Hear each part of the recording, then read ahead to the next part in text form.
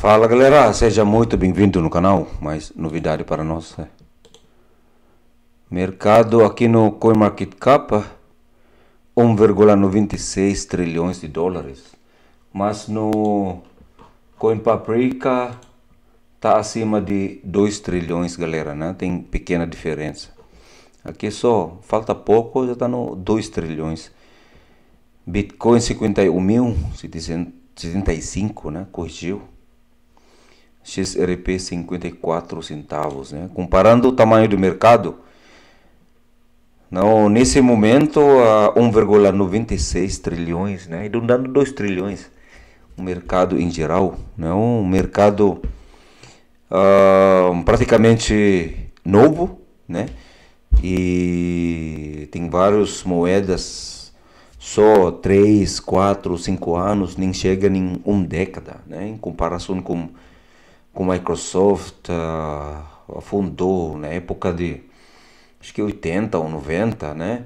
Uh, Apple já tem tempo no mercado, Google na época de 90, Amazon, né? E realmente, se a gente olha o crescimento nessa indústria onde a gente está, eu pessoalmente, né, investido, uh, eu tenho grande. Não? Eu acredito muito que temos um brilhante futuro, galera. Não? Claro que não é uma jornada fácil, vai ter o subida, descida, né? vai ter correção, né? E faz parte. Uh, eu vejo aqui, né, como eu sempre falo, volatilidade e eu vejo como nosso favor né, para nós. CoinCal compartilhou isso aqui, ó. XDC e, e muito superior porque transação, né, o, cada transação é rápido, seguro e mais acessível para todo mundo, né? Rápido, barato, uh, consome menos energia, né? Em conformidade com o padrão ISO 20022, né? Híbrido descentralizado, a segurança em nível institucional, estão tokenizando ativos no, no, no mundo de verdade e os NFTs, né, os ativos de verdade, que os ativos que a gente conhece. Esse cara Quincy falou aqui que vai ter um bounties não para quem são os desenvolvedores. Dependendo do projeto que você vai criar você pode ganhar um financiamento não para uh, tocar o seu projeto não primeiro ganhador aqui pode ganhar 6 mil dólares não três o segundo colocação e terceiro colocação mil dólares. M-Letter e o padrão DSE, né, um DSE no Emirados Árabes, galera, lá que eles estão uh, se empreendendo muito porque a legislação está muito mais aberta em relação dos outros países. Já falamos uh, muito nisso aqui, né, mas só para, só para relembrar. XRP considerado como ouro, XLM como prata, XDC como cobre, pessoal.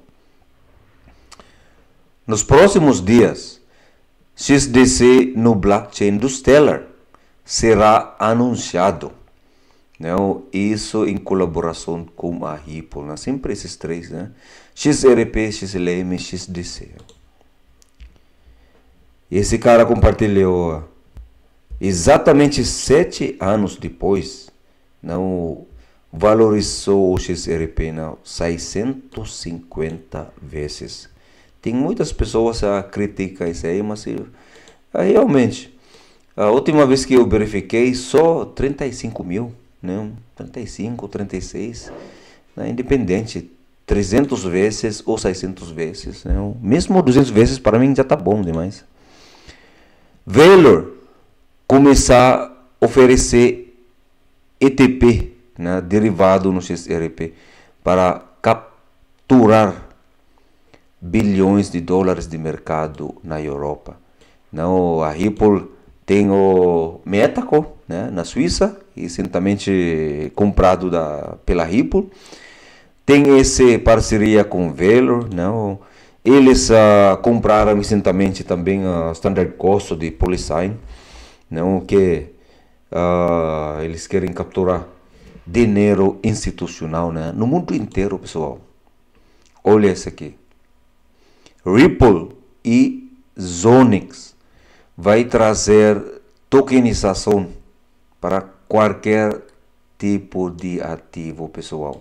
Não, isso é o futuro. Tudo será um tokenizado, né? Isso que está falando aqui, ó. Vão tokenizar ativos no mundo real, né? Tais como ações, uh, títulos, uh, terreno, casa, prédio, apartamento, né? Metais preciosos, joias, né? Obra de arte, carro, o que seja que você pode imaginar, galera tudo será um tokenizado, né? Parceria com Zonex, a Ripple, né? Tem futuro, pessoal. E para fechar esse vídeo, né? Um vídeo rápido.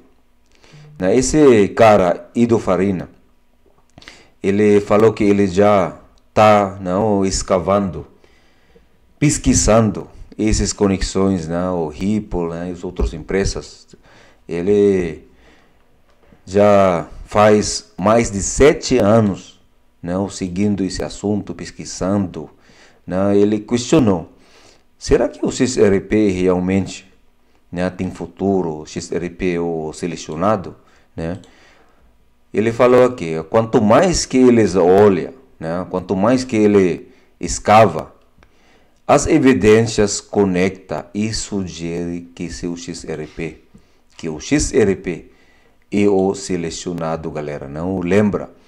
Quando uh, Brad Garlinghouse, né, na época do quando Christine Lagarde era presidente do Fundo Monetário Internacional, não eles estavam no Singapura reunindo com única uh, empresa privada naquela sala, né? A única e a Ripple, o restante são banqueiros, né?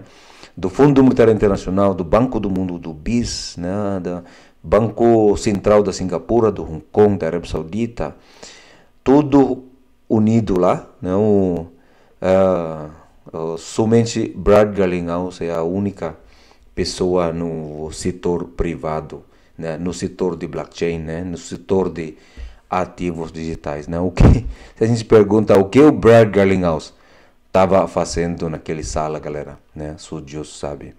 Não, Ido Farina fez essa pesquisa para nós, não? Tudo que ele mostra para nós, não? Eu compartilho para vocês, galera, né? Tem esse vídeo, esse vídeo já saiu faz tempo, não? Mas resolvi compartilhar para vocês, né? Esse aqui, ó, coloquei no no YouTube ah, deixa, deixa passar esse comercial aqui.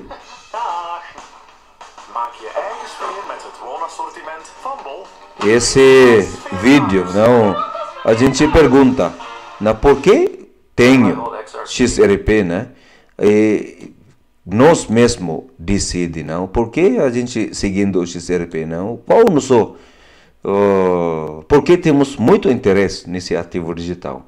Na assistência que é em inglês, mas pode traduzir, galera. Não, se colocar legenda aqui, um, a gente traduz em outros idiomas, né? Mostrando aqui como traduzir. A gente pode colocar aqui o idioma que você prefere, né? Nesse caso, português, né? A gente é, aqui, ó. Por que mantém o XRP? Por que o XRP liderado no... Não, você assiste esse aqui.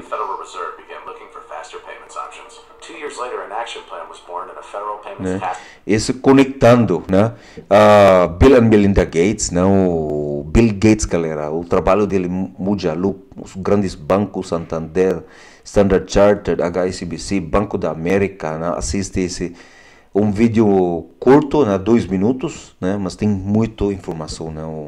Isso responde a sua pergunta não que se realmente o XRP tem futuro, pessoal. Galera, espero que vocês gostaram dessa atualização, né? Deus abençoe todos. Até o próximo vídeo, galera.